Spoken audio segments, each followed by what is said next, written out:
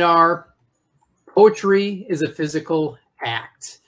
We're looking forward to hearing more about this. I'm Greg Berry, Assistant Director in the Office of Alumni Affairs here at UAB. Just a quick note, since we're virtual, don't be surprised if things may seem out of place or a technical issue pops up.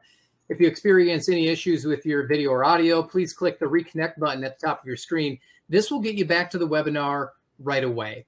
Tonight's webinar is being recorded and will be uploaded onto our website tomorrow. Also, I wanted to let the audience know that a part of tonight's presentation will discuss censorship. Due to the sensitive nature of material that will be shared, it may not be appropriate for younger ears. So if somebody is younger in the room with you, you may want to scurry them into the next room for this webinar. If you do have questions throughout the evening, please place them in the chat room. We'll have time for a Q&A at the end of tonight's presentation.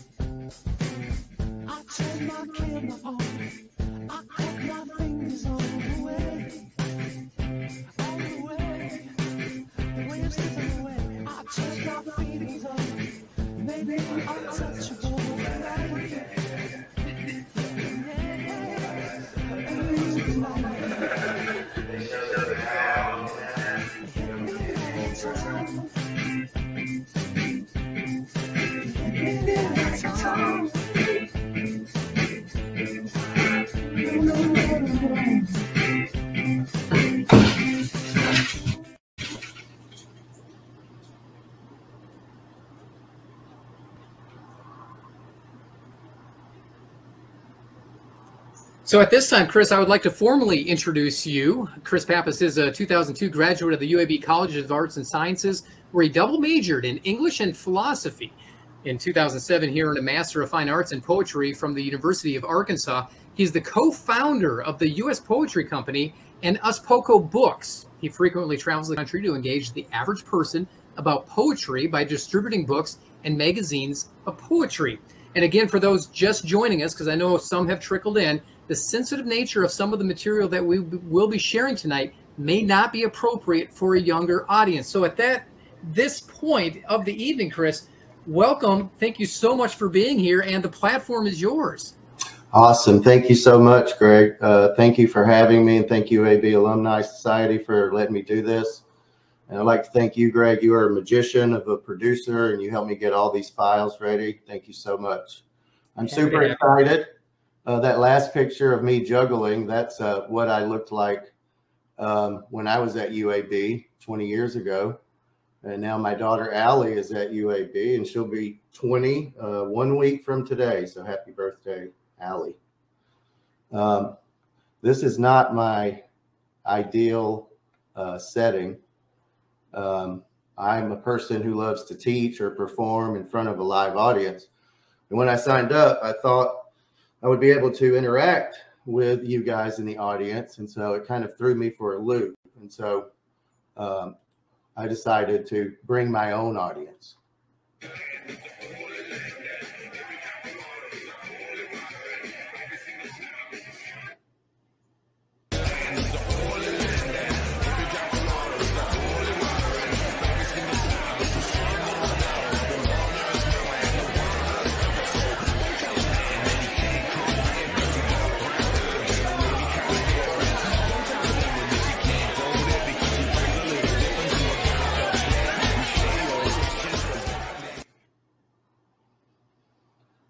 Okay, it's nice to see a lot of familiar faces there. I'm glad those guys could come with me, blast from the past.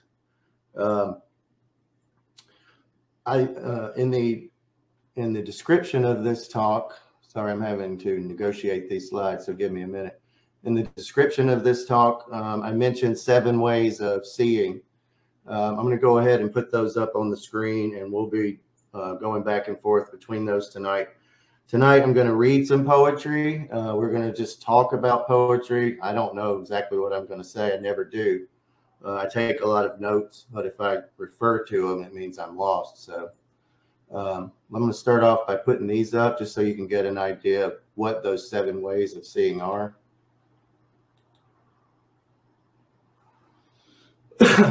these are um, seven the seven ways of seeing were passed down to me from a friend jack taylor and a mentor. Um, and he applied these to life and i found a way to apply them to poetry. Uh, this, similar in a way to aristotle's three appeals of argument. Um, the more of these that you can connect with as a reader or writer of poetry i feel like the best, the uh, more likely you'll have of making a kind of essential human connection that only poetry can do. I hope to demonstrate that uh, through the course of the night. I have to say, uh, running these down, and they are in a specific order.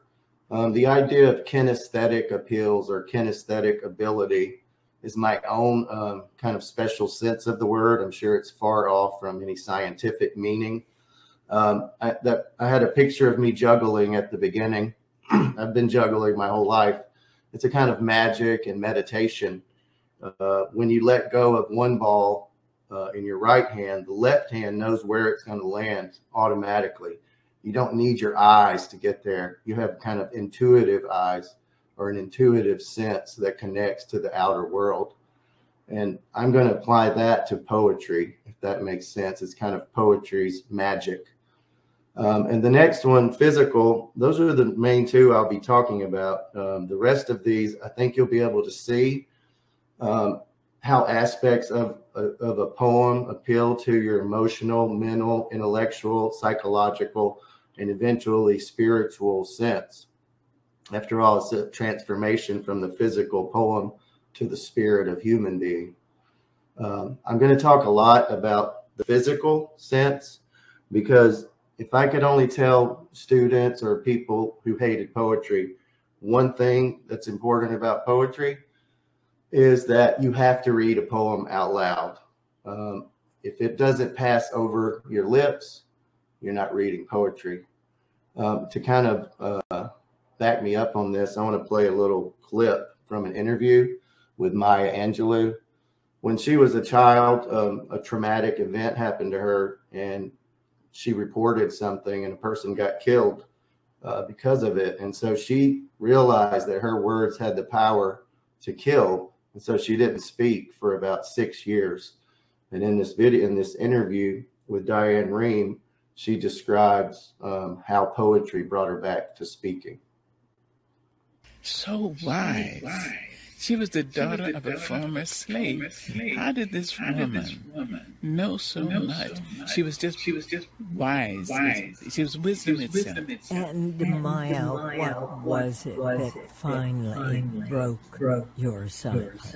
Well, it was poetry, well, it was poetry really. There was a woman, was a in, woman our in our black town, lady, black lady, who, who took, me to the black, to the black school. She knew, she knew I wasn't going to, I wasn't talk, going to talk. But she said I, want, she said, I want you to read every book in this library. In this library. So I read so I read every I didn't know I didn't what I was reading most of the time, but I read. But. And I found, and I, found I loved poetry. I could almost, I could almost hear, it. And, uh, and uh, I would write, I would it, write down. it down. Finally, Finally, one day I was 12. 12 and she, in, and she invited, me, invited to me to her house. She used to read, used to, read to me. And I, and I, she said, she you know something, you, know something you don't, know, you don't poetry. poetry. So I had a little so had tablet my grandmother had given me. I wrote, yes, ma'am, and tried to give her the tablet. She said, no, no, you don't love poetry. You will never love it until you speak it. Feel it come across your tongue, over your lips. You'll never love poetry. I ran from her. I ran out of her house. She followed me. She harassed me for months. And finally, I went under the house, under my grandmother's store, which was built on stilts. And the dirt under the store was soft like powder because of chickens. And I went under the house with Bailey. And I realized I had left my voice. My voice had not left me. And I started speaking. I admit slowly at first. Hmm. I didn't trust trust it at first. At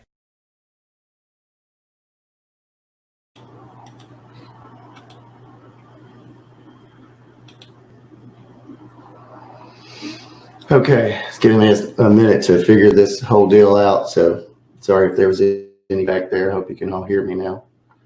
Um, some of the first poems uh, were the primary epics from Homer and then Beowulf that were essentially songs. Um, they were songs that were sung in families and tribes that were passed down from parents to their children. And the songs um, depicted the heroic deeds of men. Uh, and those deeds were designed to teach people in a society the values of that society. Uh, we all know the magic of song. Um, I think if you think about songs that you've heard, it's easier to see how these seven ways of seeing. You think about when you hear a song you haven't heard in 20 years and you still know the words to it. What is that? It's magic. Um, you know, the kinesthetic part, nobody has to analyze a song for you, right? You just start tapping your feet, you start moving along. You don't convince yourself to enjoy a song. And it's the same way with poetry.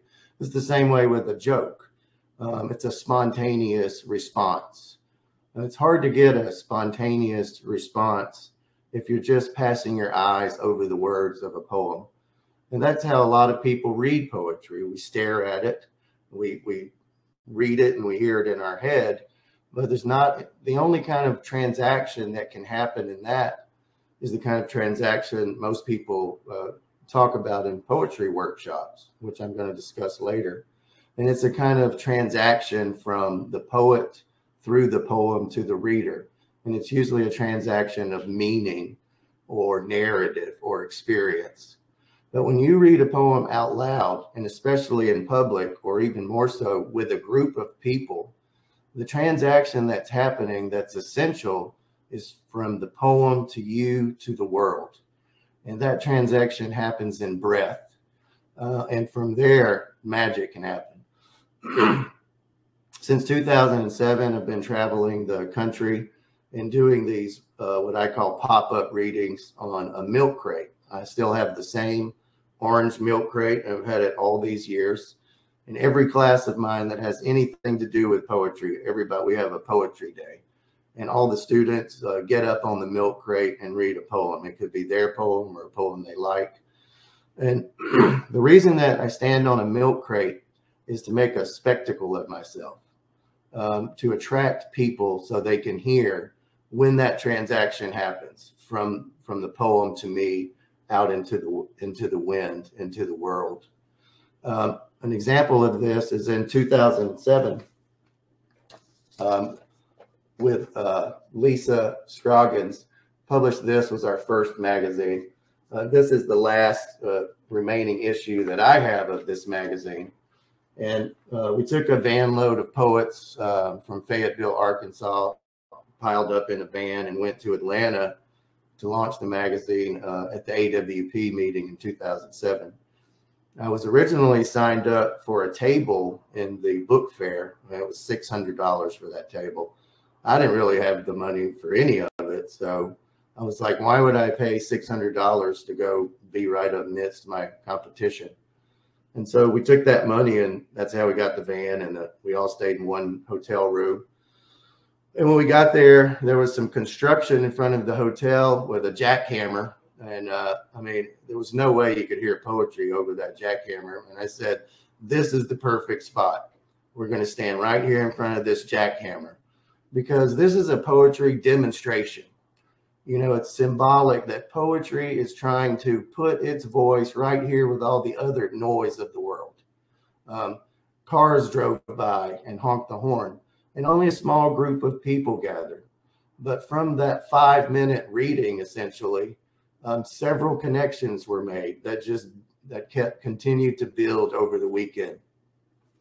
And from those connections, um, about a third or more of this issue of the magazine, uh, those people ended up being published in here.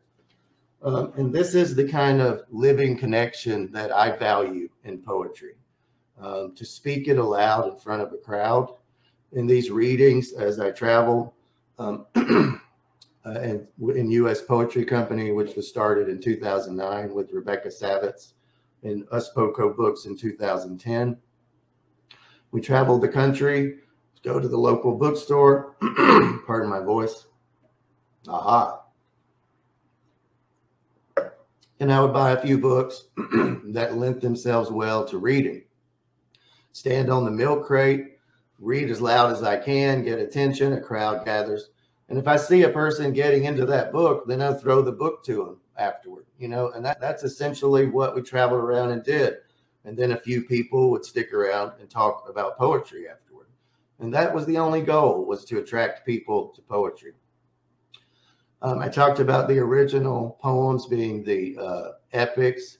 Um, and when Socrates had a problem uh, with the invention of writing, he thought it would make us um, dumber. He thought it would make us intellectually lazy and we would lose our ability to think as well. And he believed that knowledge could only be passed directly from person to person. Uh, and that's the spirit that I uh, do these readings in, that we do, U.S. Poetry Company. Uh, and, and I like to say anybody who's ever, who we've ever made anything with is a member of U.S. Poetry Company. Um, what I'd like to do uh, in the poems we look at tonight is look at where that kind of oral epic tradition is still floating around in contemporary poetry. And I'm going to start off by reading some of Night Cradle um, by Sy Hoahwah, a great poetry brother of mine I met in grad school. And these poems, um, let me put up a slide of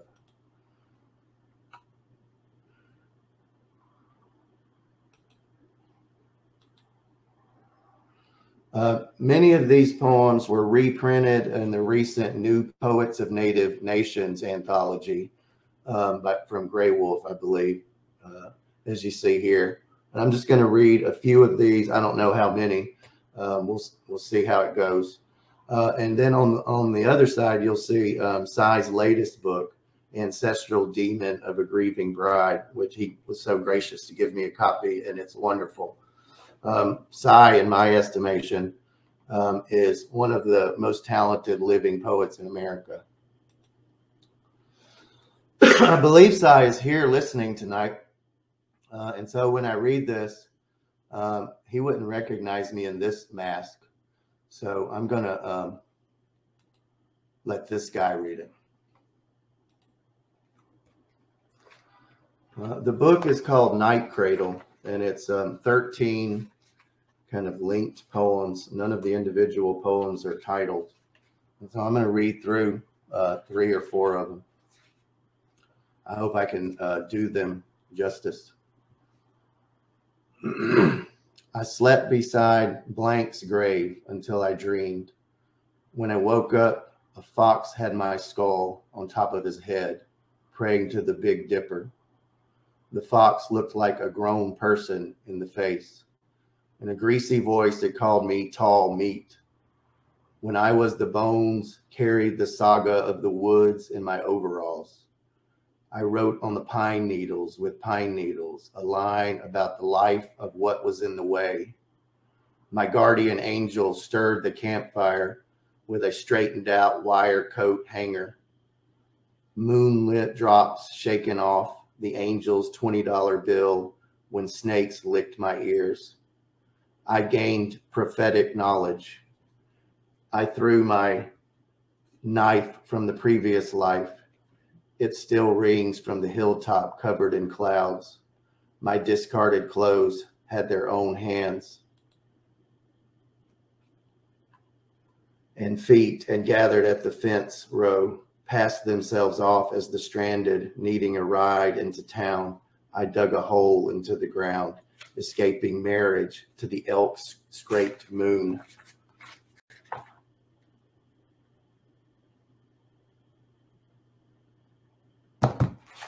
Sorry for that delay. Toward Mount Scott, it is sharp as a knife. The bad roads lead to lost roads. The lost roads lead to the same empty spot.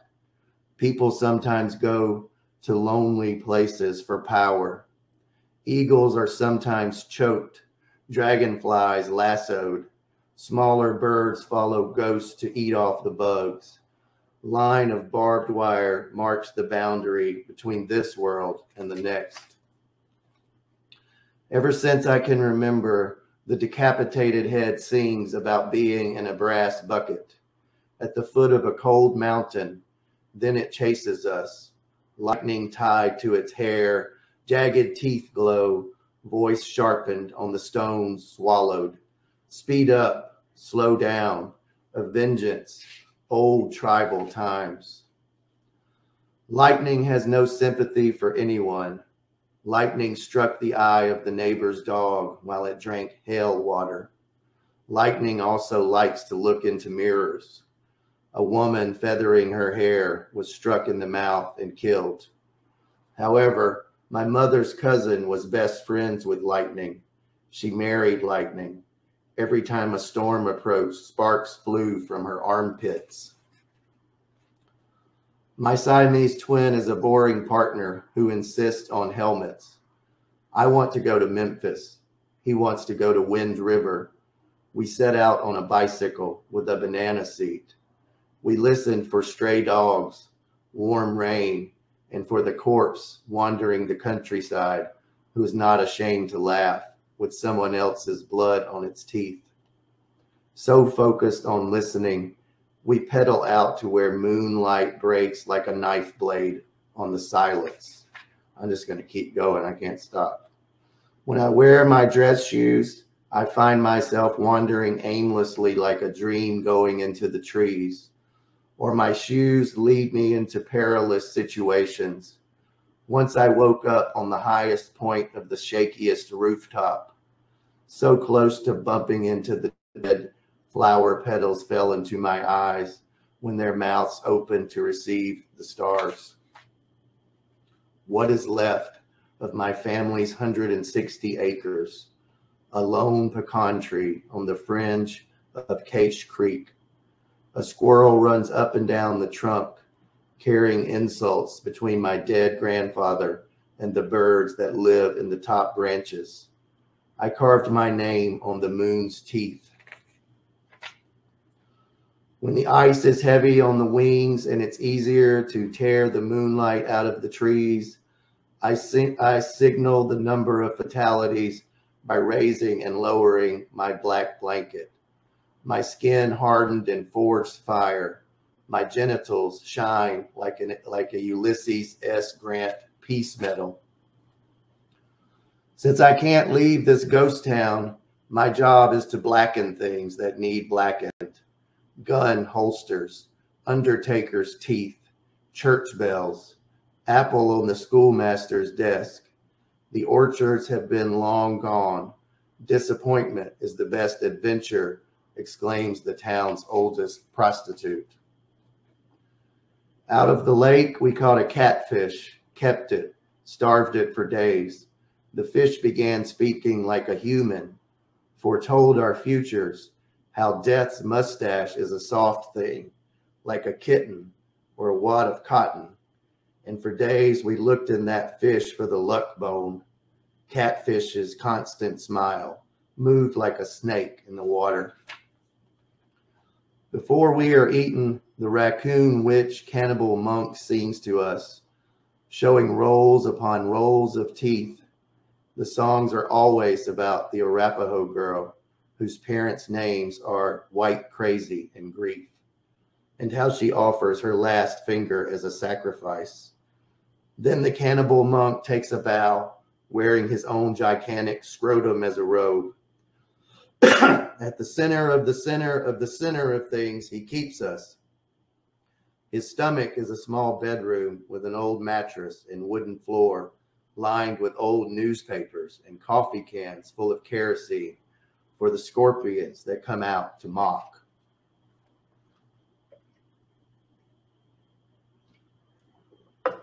Night barely fits my house. Her legs lie in one corner, an arm in, in another, her head underneath the bed. I lost a tooth in the hair around Night's nipple. Her nose grows into the ceiling. Height of the ceiling devours the lamplight no distinction between the ceiling and the hard surface of the other world's howl. 913. The sun slowly crosses the hair on the eyepiece of the dead mother coming down, looking around for her children. Horses expand and contract across a hilltop and empty out into a valley singed in the grease of strength. A hornet drifts into a deserted house around the waste of silence. Underneath the porch, butterfly wings melt in cat saliva. I keep knocking my face on the sunlight. Wow.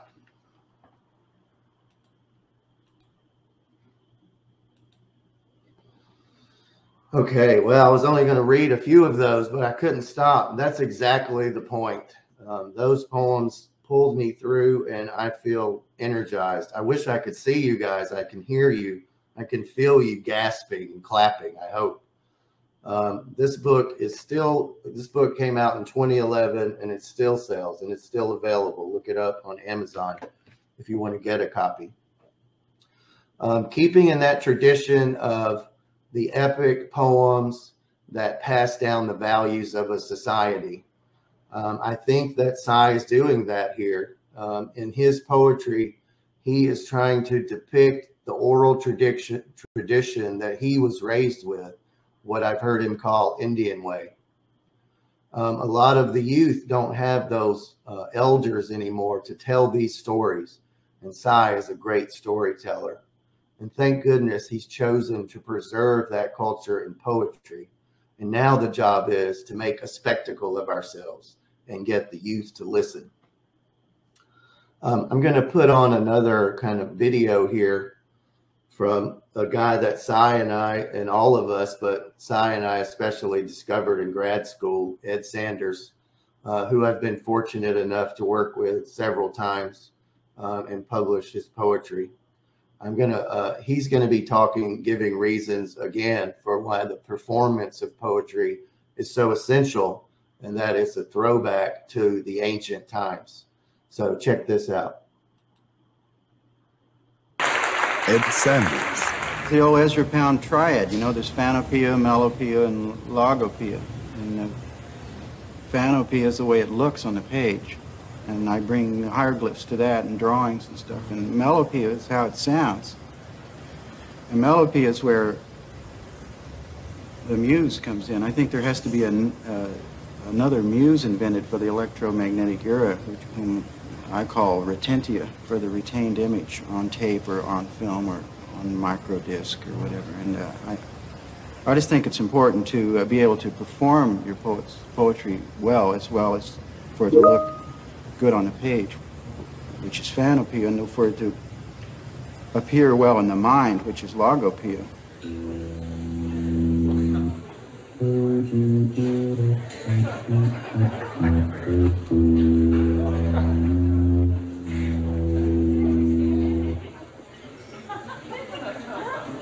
That's called the talking tie.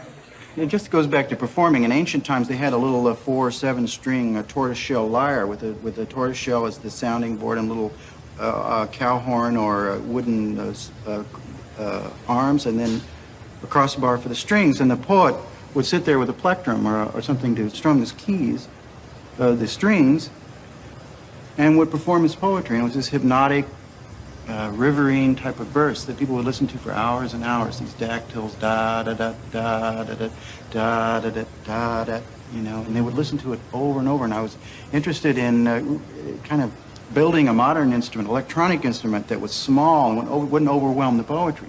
So I invented, I got these little tune synthesizers, two of them, one for each hand, with the keyboards on the fingers. The genius was 81 fearful of blindness, caught in a wheelchair, staring at death.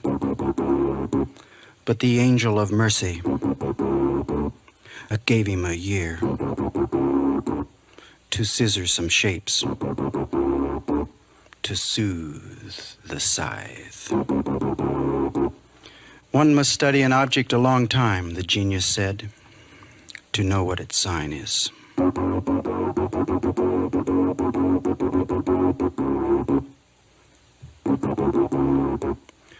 The scissors were his scepter, and the cutting was as the prow of a boat to sail him away, to sail him away.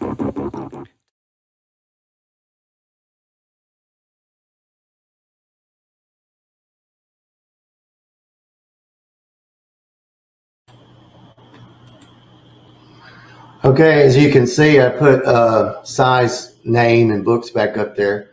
For people chatting, I can't see those chats in real time because um, I'm using this panel to run the slides and videos. So bear with me and I'll get to any questions uh, later, or I may take a break in the middle and answer some questions. Uh, but I did see that one that someone asked again for Sy's, name. And so I put this up here so you can write it down and get his new book.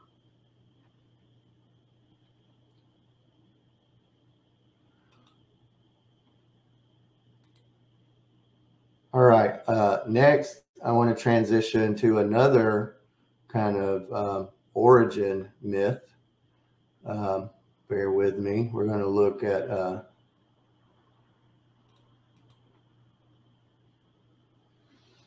uh, we're going to talk about Eve, uh, what she represents historically, um, and I want to start off uh, with what John Milton uh, says about her.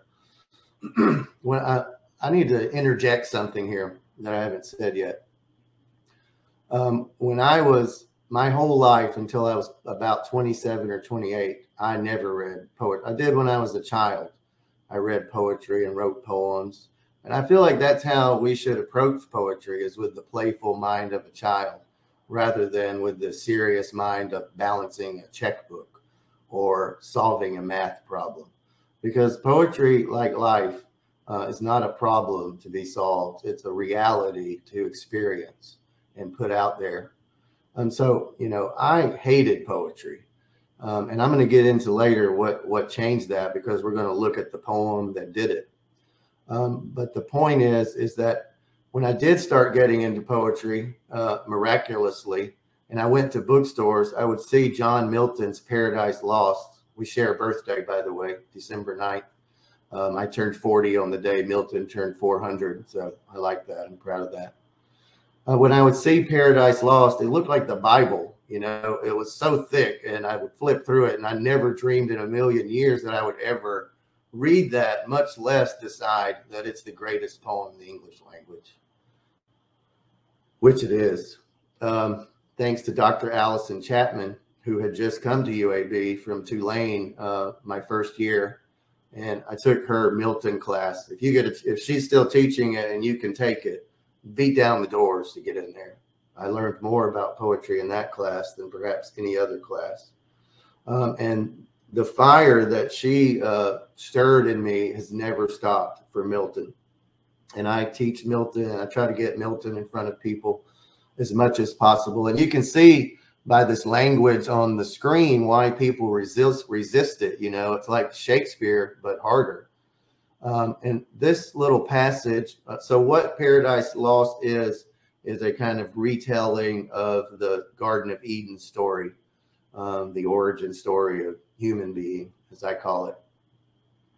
And uh, milton uh, always wanted to write an epic by the way and he he wanted to write an Arthurian epic, um, and he worked on that for many years.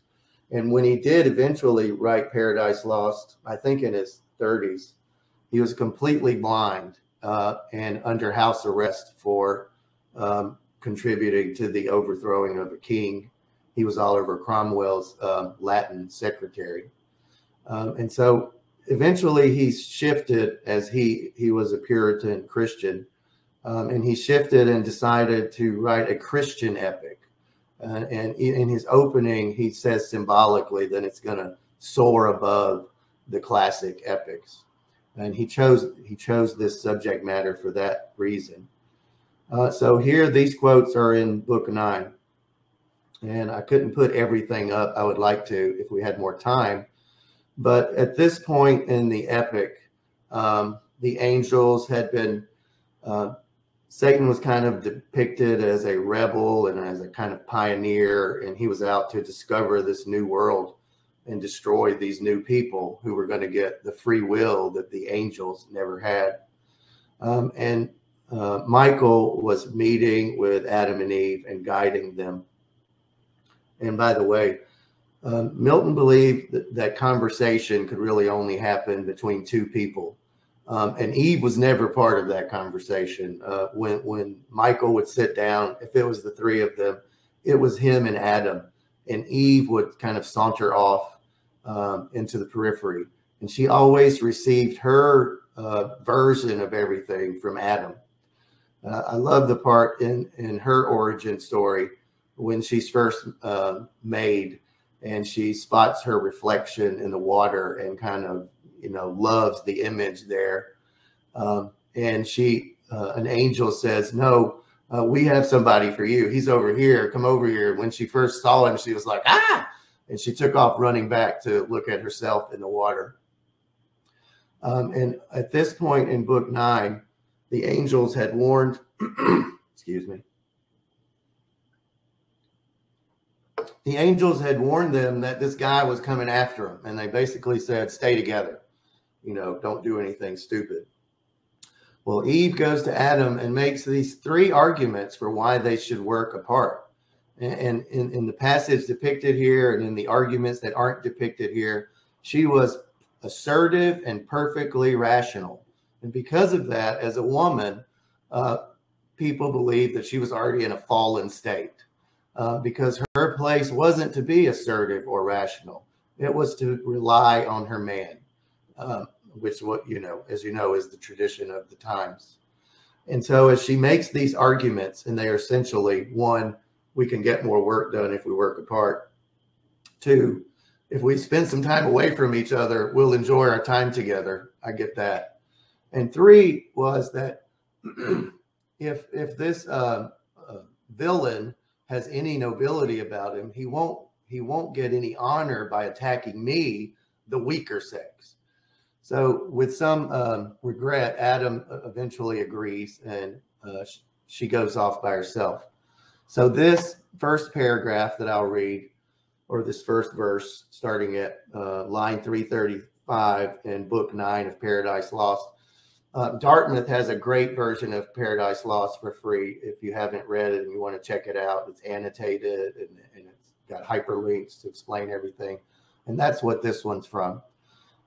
and this is her response to um, Adam's foreboding that she shouldn't go. And she says, and I remember um, Dr. Chapman showing me how Milton's verse worked because uh, we had to write a prosody paper analyzing um, arguments that are that are made in the um, alteration of the meter, um, which is blank verse iambic, uh, unrhymed iambic pentameter. Um, and and in this line, and what is faith, love, virtue, unassayed? You know, those three stresses together. And she taught me how to look for that, and that the poet's trying to uh, get our attention here. And what is faith, love, virtue, unassayed, alone, without exterior help sustained? Let us not then suspect our happy state, left so imperfect by the Maker wise, as not secure to single or combined. Frail is our happiness if this be so, and Eden were no Eden thus exposed. And so she makes her argument, and then a few lines later, we see uh, Satan kind of flying down, and he's looking. He doesn't expect them to be apart because he thinks they're not that stupid, um, but he's he's overjoyed to find her alone, um, and that's what this depicts. And you'll see. Um, well, I'll read it first. Sorry about my voice here. He sought them both, but wished his hap might find Eve separate. He wished, but not with hope of what so seldom chanced, when to his wish beyond his hope. Eve separate he spies, veiled in a cloud of fragrance, where she stood, half spied, so thick the roses bushing around about her glowed, oft stooping to support each flower of slender stalk, whose head, though gay carnation, purple, azure, or specked with gold, hung drooping unsustained. them she upstays, gently with myrtle band, mindless the while, herself, though fairest, unsupported flower, from her best prop so far, and storm so nigh. And you can see that Eve is depicted by herself as a flower without a prop, that without her man, she would droop and eventually die. And so the next um, contemporary poet I'd like to look at uh, to kind of answer that. Sorry, let me get back here. Is uh, Sarah Janine Smith. And uh, this is a book of hers that we published in 2019. Uh, wonderful chapbook with 18 poems in it. Um, and but the poem I want to read is a newer poem of hers that has been published, that I can't remember where. It's not in the chapbook, but it's called Eve. And what Sarah has done is taken kind of the most universal origin story. Uh, when you're writing a poem and, and, you do this, in my mind, poetry uh, is like a hose. If you pick something that everyone knows, then you can use the force of that knowing uh, to, like a mist, to spray or net in a large group of people. And that's what Sarah has done here brilliantly. Um, she doesn't have to establish the parameters of this myth. Everybody knows it. It's part of our received knowledge, you know, in society. And so um, her poem kind of turns the story we just saw about Milton being, I mean, I'm sorry, about Eve being an unpropped flower without her man and turns it on its ear. Um, so when before I knew I wasn't going to have access to you guys, I was hoping we could do some group reading. Um, and I'll stop real quick to say this. So there's a few ways that we in, we engage poetry. And the first way was that I said most of us read poems by just passing our eyes over the word and we hear it in our head. And then the next way is to read it out loud, as Maya Angelou, uh, her aunt or whoever that was, said. If the poetry is not passing through your tongue and over your lips, you can never love poetry. So, in reading it out loud, we're giving ourselves over to the poem because uh, if the poem is crafted well, I call this a poem as sheet music. Um, it's just a, a, system of cues to prompt the reader to say certain things in a certain way. And there's lots of ways to do that. And in doing that, your breath can be regulated and you could be put in a kind of trance state or meditative state or you could even be uttering spells. Um, so to give yourself over to a poem could be a risky thing. And with risky things come much payoff. So I'm going to put her poem up here, what I was saying. And then the other ways uh, are to read a poem in front of a crowd. And that's where the kinesthetic aspect of reading comes in. Anybody who's ever performed in front of an audience especially if you don't haven't memorized your poem, knows that you're looking at the poem, you're looking at the audience, right? You're aware of yourself, you're aware of your surroundings. And if you're going to pull that reading off well, you go into a different place. And that's what I call that kind of kinesthetic, intuitive knowledge or magic. Um, and, and, and then the other thing, which is the greatest, is to read a poem with a large group of people where you're all reading it. This is what I do in my classes, and this is what I wanted to do tonight. So we're still going to do that. I'm going to challenge you to, except I'm not going to be able to hear you. And so I would like, for one, I'll challenge you for every poem you ever read from this point on, read it out loud. Um, and so we're going to start with this poem. I'm going to read it, and I'd like for you to read it uh, to yourself there with me. And I'm going to put it up on the screen. This includes uh, everyone. okay. So here we go. Get ready. And the way I do this in class is um, I'm kind of the through line. So I'll establish this poem is kind of short. So it's harder to get that uh, through line established. And then once I establish that rhythm and it's predictable, then join in and read a line or a word or the whole thing. Okay. So here we go. Eve. I am a beautiful bone cracked off your cage wrangled out of your viscera. I am a salvaged appendage, art from found object. a gore streaked crutch for you to lean on, a satiating afterthought to soothe the wound I made in your flesh. Just like I ran with that rib, I will believe and repeat every story I am told. Some stories will grow skin and call me mother. Others will devour me and call me whore. I am so pretty, it is scary. I am so gentle, it hurts. Who could predict the havoc I will wreak so wryly, a smile coiling into my red lips? Soon you will see me saunter out of this ruined garden, juice leaking from my mouth. You will be right behind me. I will throw you back that bone I took from you. I love that poem. All right. Let's see here. One, bear with me one second.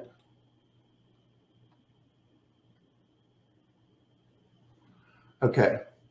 Um, for a minute, I'd like to talk about. I said in the description that I was going to talk about the way that poetry has evolved, over, or the role of the poetry and the poets has evolved over the last several decades. Um, and this is an idea, as everybody knows, uh, that I've been obsessed with and tinkering with since for 15 years or more.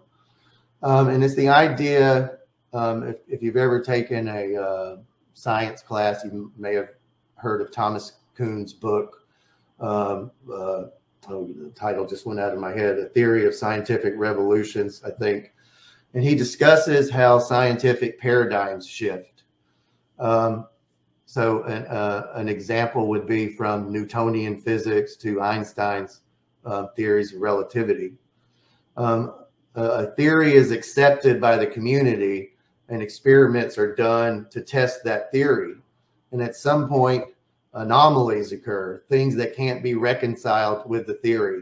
And eventually those tend to increase until it's obvious the paradigm is no longer suited and, and this is a violent time within that period when the paradigm is shifting until a new one is established. You've probably heard of a lot of um, poetry movements like confessionalism, realism, imagism, romanticism. Most of these movements are in some way a reaction to a previous movement. Um, and the movement that I believe we've been in probably since the 60s but primarily um, from the 80s forward is what I call the MFA school.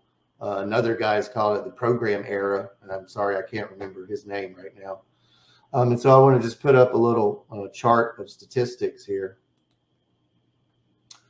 And this is from the AWP uh, thing, and it shows the increase from 1975 to 2015 in the number of degree granting creative writing programs. And so, as you'll see, and you can see them broken down um, into the different ones uh, MFAs, Master of Fine Arts. Uh, and so in 1975, there were a total of 79 degree uh, granting creative writing programs. And in 2015, there was 1,766. Well, where are all these people going? Because pretty much the only thing you can do, getting a degree in poetry doesn't make you a better writer you could argue it makes you a worse writer. I'm not going to make that argument. Uh, but it doesn't make you a better writer. So all it does is make you a teacher in which, you know, you're operating within the paradigm in which you were born. And so you're going to continue to pass down those kind of traditions. Um, and I, you know, I say that this leads to an aesthetic of consensus through the workshop process because there are some assumptions even have have a workshop, that there's an authority as to what's good. Um, my friend Paul White used to say that uh, there's two principles in the MFA school that a poem be good and clear. And those sound simple, but that's really what it boils down to. And we could break those down for a half hour. I won't do that here. But the idea that we know what a good poem is, you know, by reading it and discussing it, and that we're all going to agree on it, and the fact that if it's not clear, then we can't know for sure if it's good. Um, well, Um, a lot of those friends, we used to, uh, my poetry family, Jennifer White, Paul White, Sy, and there were many others, um, Chris Wong, Jacob, Travis Largent. Uh, we used to sit in my kitchen and look at this uh, picture I got from the ice cream social uh, in Fayetteville.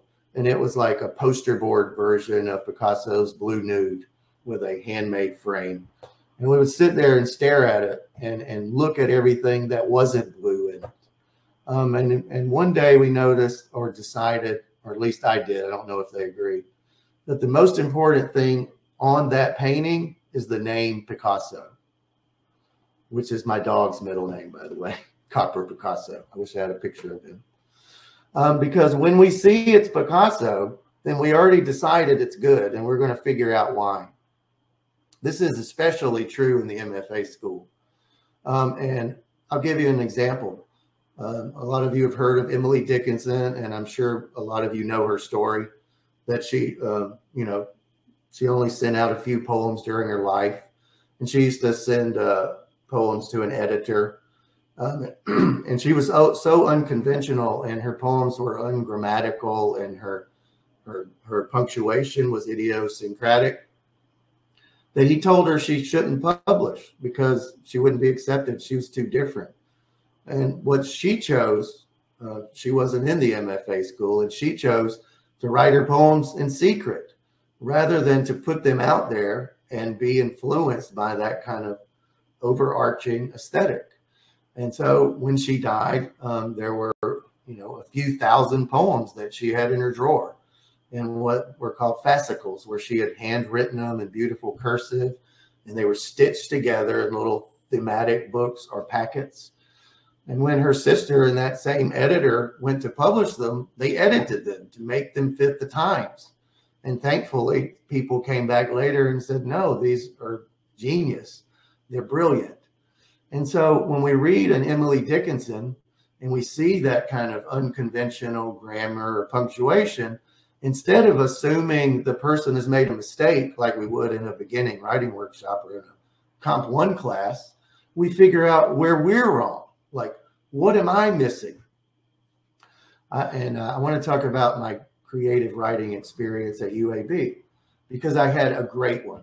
Um, um, Tony Crunk uh, was my mentor, and uh, he taught me everything about poetry, and I'll be forever grateful. I hope he's listening. Um, in one of our workshops, I made this case. Um, I would hate to have me as my own student, I tell you that. Um, but I made the case that in these popular journals, the mainstream journals, that most of the poetry was god awful. I didn't like any of it.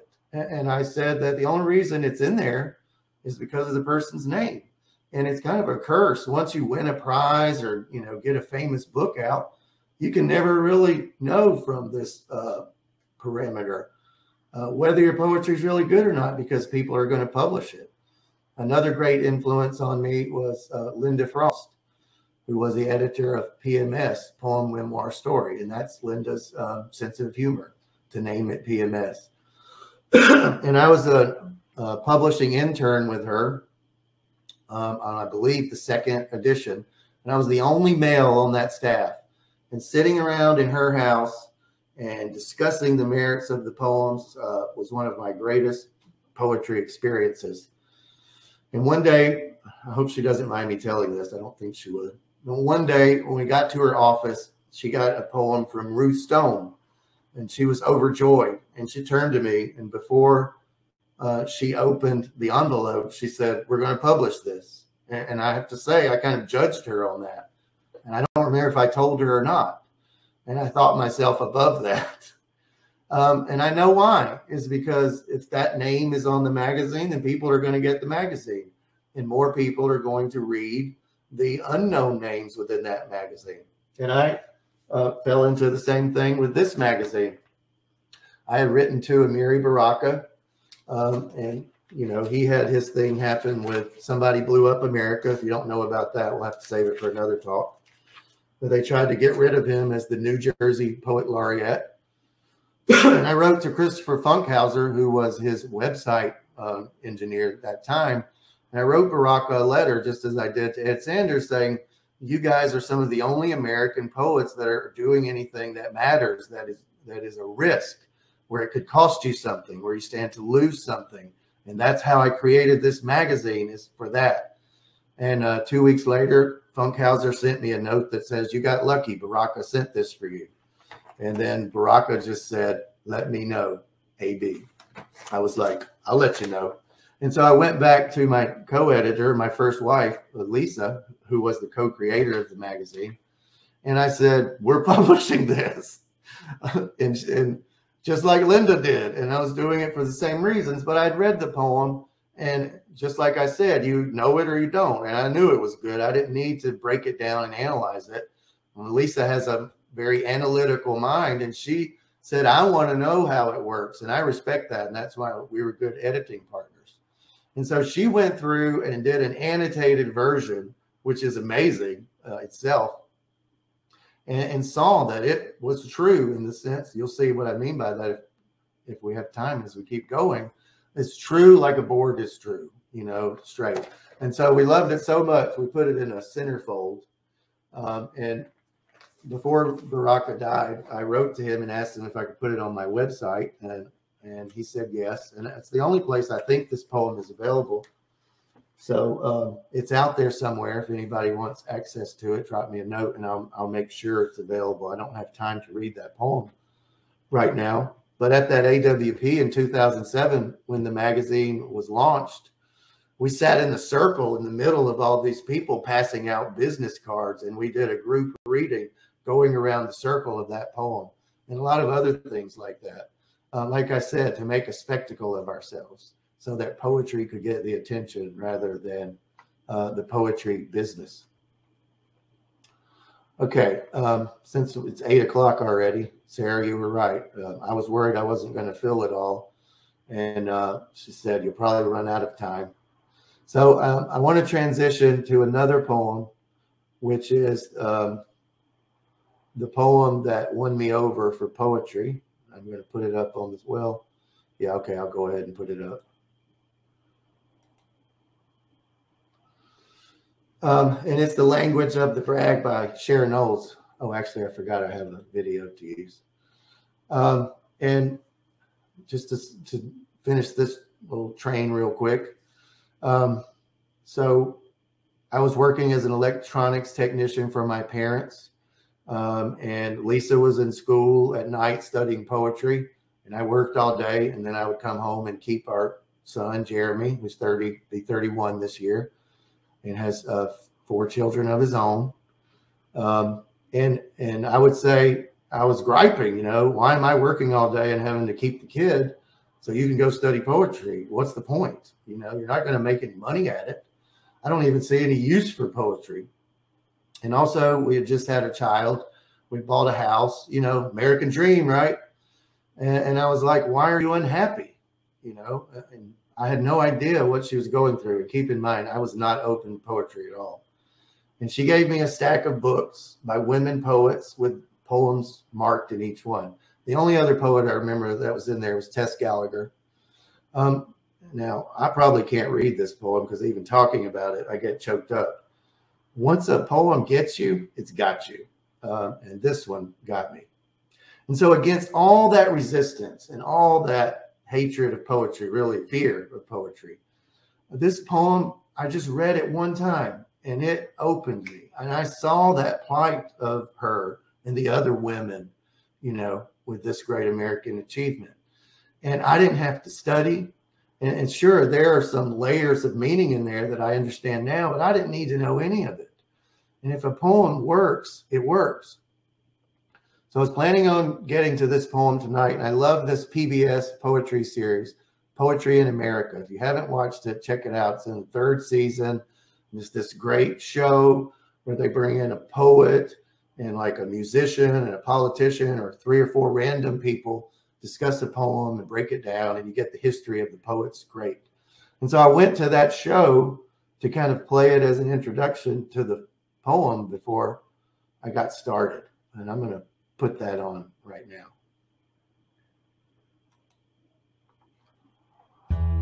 I have wanted excellence in the knife throw, I have wanted to use my exceptionally strong and accurate arms and my straight posture and quick electric muscles to achieve something at the center of a crowd.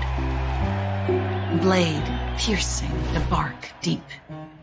The haft slowly and heavily vibrating like the. Say what?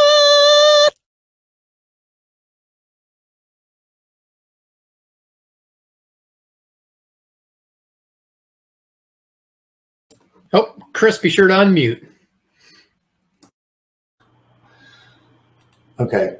Uh, when I got to that poem in the in the show, I was floored um, that they blurred that word out, the word cock, and that and the word feces, and not only they censored the person speaking it, and then they went on to discuss why she had chosen to use uh, taboo words to show the constraints that are put on uh, women writers. And then they're putting the same constraints on it in the same breath. And I, I know somebody at PBS made that decision. Um, so, you know, we're going to read the poem uncensored because one of those seven ways of seeing is emotion. And if, if you censor out all the words that make you feel icky or tingly, then you're censoring out the emotion. And that's a lot of what happens in a kind of workshop process. And this poem is, uh, let me get back to it. Um, I couldn't get it to depict the whole thing at once. So it's going to be hard to read along. If you have a copy at home, or you can probably pull up a copy, I'll give you a few seconds and you can pull it up. And that way you can see the whole thing and read along. and this uh, poem deals with the epic tradition as well. First, I just want to read it, and then we'll look at a few things in it. Um, and then we can um, have a discussion if y'all have any questions, or I, I can say more. I can always say more about poetry. Okay. All right. Um, the language of the brag. I have wanted excellence in the knife throw. I have wanted to use my exceptionally strong and accurate arms and my straight posture and quick electric muscles to achieve something at the center of a crowd. The blade piercing the bark deep, the haft slowly and heavily vibrating like the cock. I've wanted some epic use for my excellent body, some heroism, some American achievement beyond the ordinary for my extraordinary self. Magnetic and tensile, I have stood by the sandlot and watched the boys play. I have wanted courage. I have thought about fire and the crossing of waterfalls. I have dragged around my belly big with cowardice and safety, my stool black with iron pills, my huge breasts oozing mucus, my legs swelling, my hands swelling, my face swelling and darkening, my hair falling out my inner sex stabbed again and again with terrible pain like a knife. I have lain down. I have lain down and sweated and shaken and passed blood and feces and water and slowly alone in the center of a circle, I have passed the new person out. And they have lifted the new person free of that act and wiped the new person free of that language of blood like praise all over the body. I have done what you wanted to do, Walt Whitman, Allen Ginsberg. I have done this thing, I and the other women, this exceptional act with the exceptional heroic body, this giving birth, this glistening verb. And I am putting my proud American boast right here with the others. Whew, I did it. I got through it without breaking down and crying. Okay since uh, she did bring up a lot of people wonder why did she pick Walt Whitman and Allen Ginsberg right there, and I, I think it's because in writing this poem and her nature altogether, and I remember she said at one point when she finished, I think it was Columbia, and she stood out on the steps and said, "Now I know I have to forget everything I just learned." And and she was a rebel poet to write this, you know, or an outlaw poet. and they were outlaw poets. And I mean, both of those men could be considered feminists, I think. So I don't think she was talking to them, but I think she was saying, I'm an outlaw too, and I've done this thing that you wanted to do, but I've got something you can't do. I can make my own people and I can make a poem. And that's the proud American boast because it's a struggle for women writers in a male dominated editorial system. I don't know if you've ever heard of VIDA. Uh, I think that's it. Oh, God, I hope I didn't mess that up. But they do a count every year of the number of women that are published in journals and, um, you know, who are the editors, how many were submitted. And it hasn't really gone up that much. And I have to say, even myself, I'm, you know, a feminist. I'm woman conscience. As you can see, I've picked mostly women for this show but when I looked back at one point over the history of everybody I published, it largely was dominated by men. And, and this is a, a constant battle. Um, and I want to just put up real quick, since we mentioned uh, Walt Whitman, a kind of famous quote from him. Um, and uh, I know I see this um, on people's refrigerators and stuff. Um, and this is from the preface uh, to the original, the 80, um, the 80, 1855 edition of Leaves of Grass, which is a wonderful prose piece. And you can get it online. It's long. You know, if you teach a class on poetry, teach it or read it if you haven't. And he uh, clearly and in depth articulates the role of the poet as it was and the role of the poet as it is and it shall be. And it's wonderful and I'll read this, but the main thing that I want to take from it is that I'll read it first. He says, excuse me.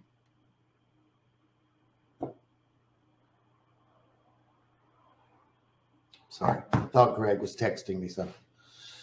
Okay, he says, This is what you shall do love the earth and sun and the animals, despise riches, give alms to everyone that asks Stand up for the stupid and crazy. Devote your income and labor to others. Hate tyrants. Argue not concerning God. Have patience and indulgence toward the people. Take off your hat to nothing, known or unknown, or to any man or number of men. Go freely with powerful, uneducated persons, and with the young, with the mothers of families, Read these leaves in the open air every season of every year of your life. Re examine all you've been told at school or church or in any book. Dismiss whatever insults your own soul, and your very flesh shall be a great poem and have the richest fluency, not only in its words, but in the silent lines of its lips and face, and between the lashes of your eyes and in every motion and joint of your body. And when when uh, Walt Whitman um, self-published his book uh, and it came out, pretty much everybody hated it. For one, it wasn't it wasn't rhymed and it was in what we call free verse, vers libre, verse liberated. Um, and that was a new thing. Thank you, Walt Whitman. Because yes, Socrates was right in some sense, um, we can't remember all these poems anymore. You know, they're not written in meter and rhyme a lot of times. And honestly, in a class or when I'm editing, if I come across a poem that's in verse and rhymed, I say, hey, a song. And that's what I call those poems. I mean, they're poems, but they're songs. And uh, and this with this, yes, we can't remember the poems, um, but that's why we have books and computers and iPhones. We don't have to remember them anymore. So let that shit go. Pardon my French. Um, and that's why when we go stand on a milk crate and make a spectacle of ourselves, the poem becomes a song again and it can do its job to pass on those traditions, that culture. And all I want to do is for someone to come up and ask me, you know, what is that? And I've got them. That's all I want to do. All right. I can say more. We've got about uh, 20 minutes left, but Greg, I don't know how we can get any questions. Uh, I've got a few more things I can say if there aren't any. give me some guidance. Yeah, go ahead and, and continue. I've got a few written down, and if if people in the audience have questions for Chris, go ahead and drop them in the chat. We'll let him go on for another five ten minutes, and then we'll we'll skip over to the questions. But very very interesting how people view poetry and and how powerful it can be. And as Lisa said, it can be forceful. So with that, I'll I'll give it back to you and and take us through more of this journey. Okay, I'd like to. Uh, there is one thing that I haven't gotten to yet. Um, so at the time that um, I did this magazine, I, I, didn't have the money. Back with these types of magazines on a web press, like that prints a newspaper, it's very expensive, and you can't just order a few copies. And so we ordered five thousand copies, um, and it cost a few thousand dollars. And I remember my friend Paul, because at that time um, online poetry magazines were kind of just getting started. And it was like, ah, the true democracy of poetry, right? You don't need any money to publish it, and it can instant access for everybody. But for some reason, and Paul said, Why are you doing a print magazine? And I've thought about that a lot. I did then, and I'm sure I answered. I don't remember what I said, um, but I know uh, what I would say now. Um, and I know why I did it now um, is because um, a magazine or a print journal um, can decay and and it can die, and so it's alive like a bottle of wine. Um, and if something can't decay and die, then it was never alive in the first place. I remember a, a, a friend of mine, Jacob, we wrote this. I do these online collaborations called Poet Juice. I got that from my friend Paul also, where I call a line by line, and it could be two poets or several poets. You can see some examples at uh, uspoco.com, uspoco.com. That's our main website. And also, uh, I'll put my, Greg, if you can remind me to put my email out there before we're done. um, totally lost my train of thought there. Uh, but we we do these line by lines and give ourselves over to the process. Um, totally lost that train.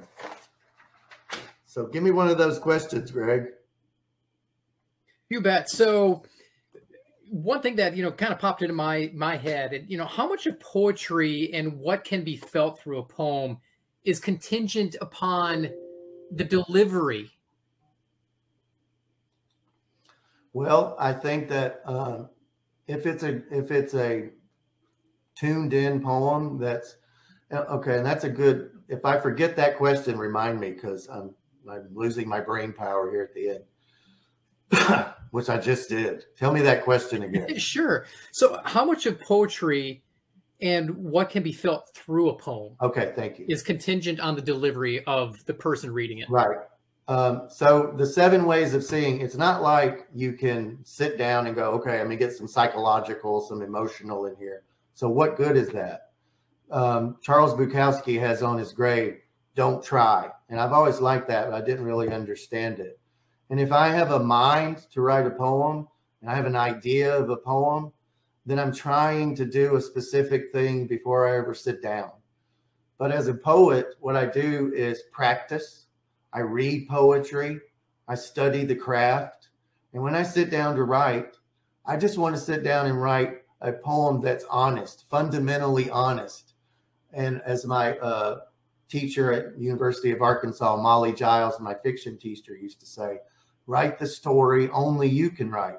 So if I sit down to write the poem only I can write and don't filter it, then I believe I'm tapping into as many of those seven appeals of poetry uh, that I can.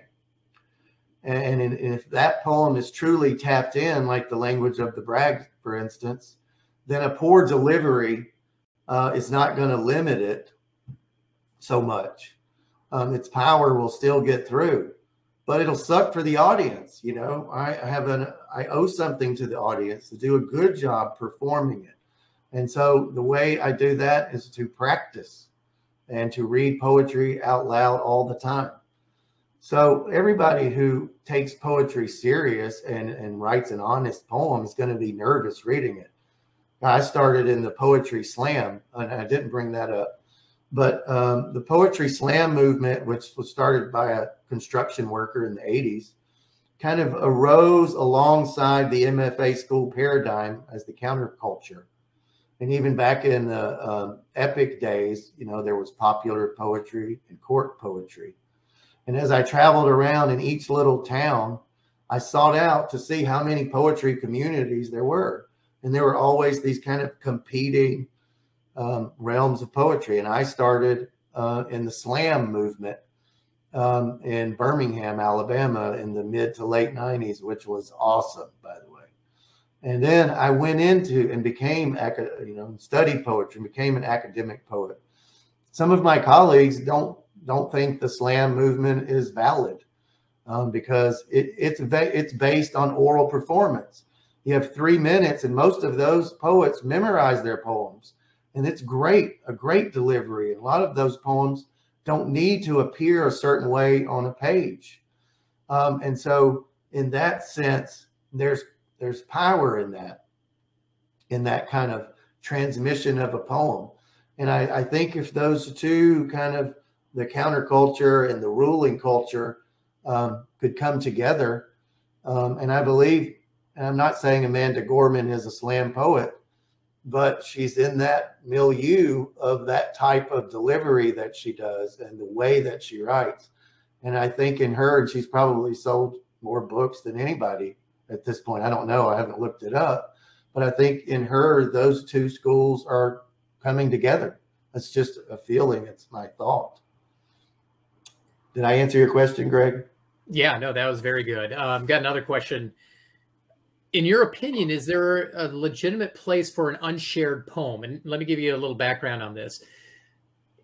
At some point, this person says the poem will be shared, but not quite yet. They had a six year old son who uttered something so powerful while they were driving them to school. They had to pull, pull the car off onto the shoulder and they couldn't breathe and drive at the same time.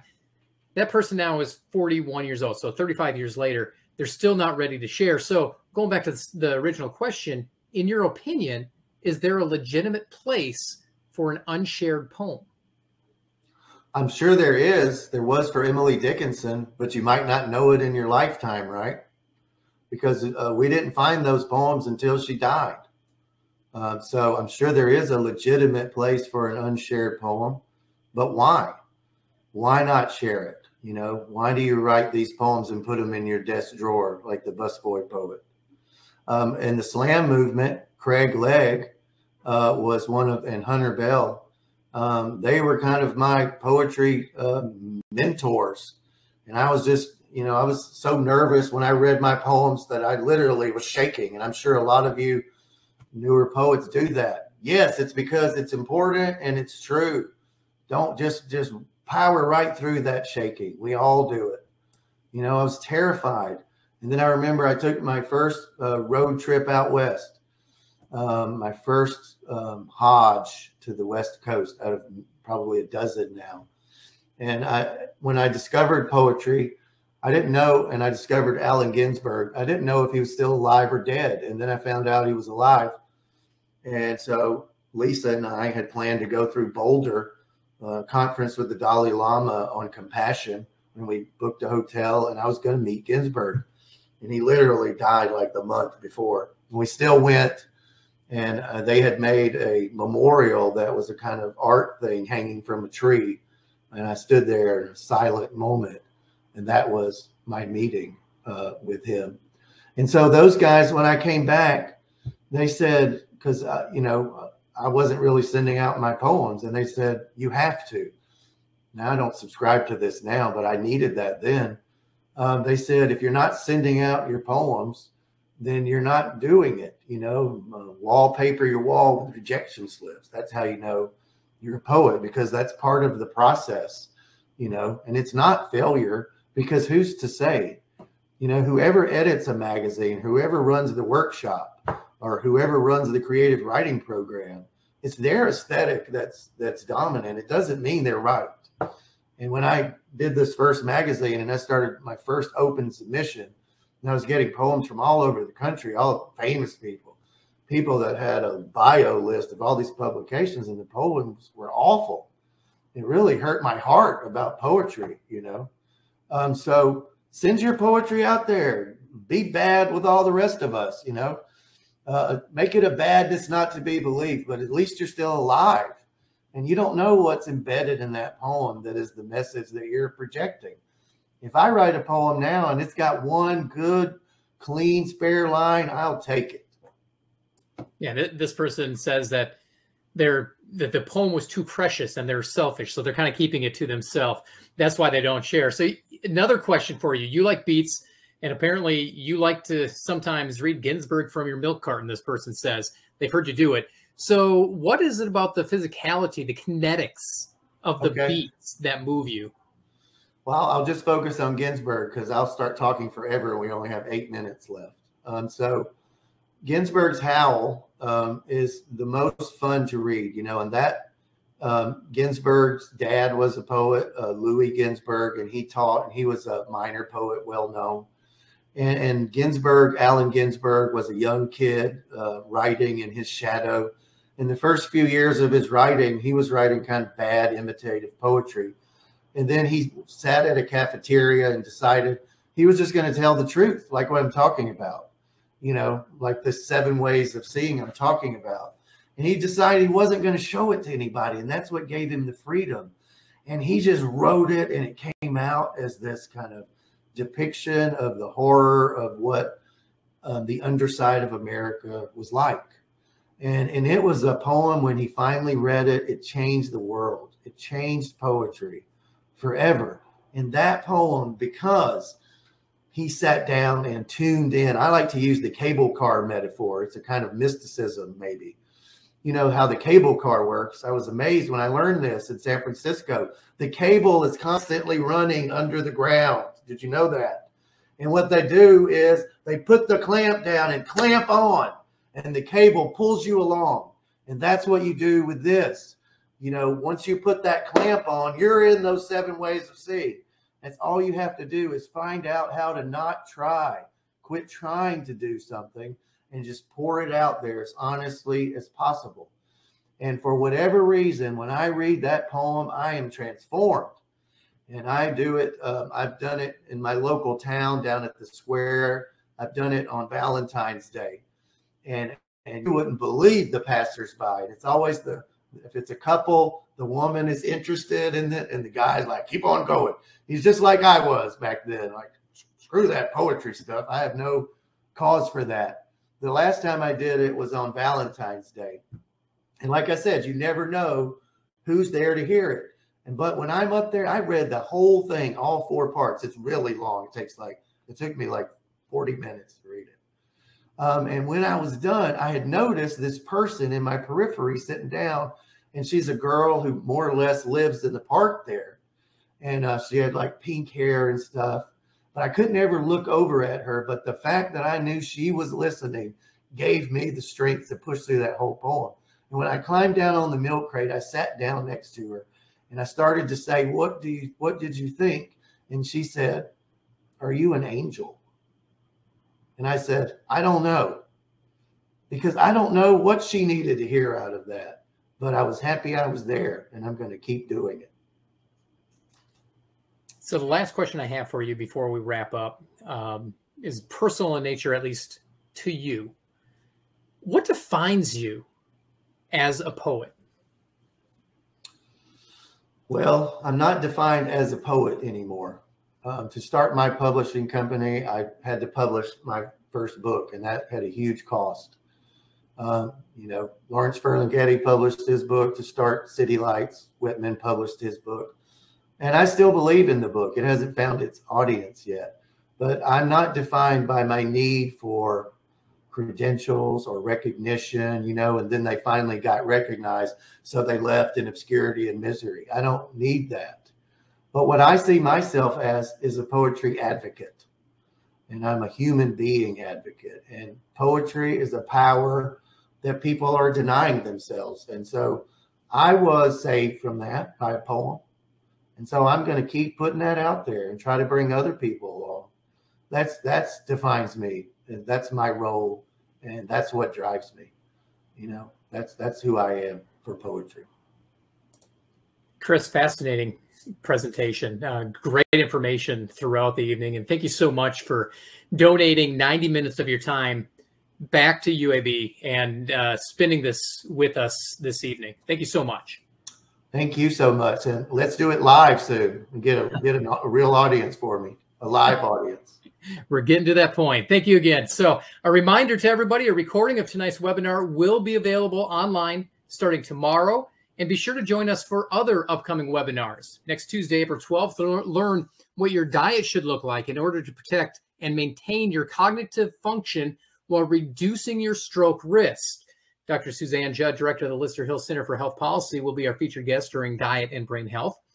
On Thursday, May 19th, take part in comedy. Just say yes. During this webinar, we'll find out how we can develop your our own happiness plan and Learn why humor helps cope with stress with Dr. Kevin Fontaine, professor and chair for the School of Public Health.